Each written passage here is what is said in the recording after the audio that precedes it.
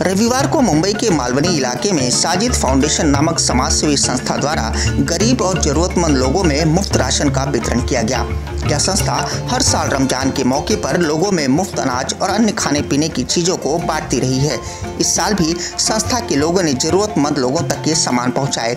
इस आयोजन के पीछे की सोच ये है कि रमज़ान के मौके पर कोई गरीब भूखा न रह जाए। और खास बात यह है कि इसका लाभ सिर्फ़ मुस्लिम लोगों को नहीं, बल्कि हर धर्म और जाति के लोगों को दिया गया। राशन ऐसे तो हम लोग हर साल हमारी संस्था की तरफ़ से बांटते ही है। और इसीलिए बांटते कि हर गरीब के घर में, ऐसे तो हमारी सोच ये है कि हर महीने बांटे, सिर्फ़ रमज़ान में नहीं बांटे, हर महीने बांटे। और ये सिर्फ़ रमज़ान में सिर्फ़ मुस्लिम लोगों के लिए नहीं है। गैर मुस्लिम है, हिंदू, मुस्लिम सब एक है, उन सबके लिए राशन है और जिससे जो हो सकता हम सबको बांटते हैं राशन और माशाल्लाह हमारे राशन में सब चीज़ आती है। कोई चीज़ की कमी नहीं, अल्लाह करम है, अल्लाह का शुक्र है। जैसा जैसा जो है हमारे मामू हैं, मोहिद्दीन मामू, वो हमारे हमारे को सपोर्टर है, जो भी हमको मदद करते हैं और हम लोग, हमारी यूनिटी से हम लोग जो भी ये करते हैं और ये हम लोग हर साल करते हैं। और आज हम लोग ने कुछ कम से कम सौ, डेढ़ सौ को, डेढ़ सौ लोगों को कम से कम बांटे।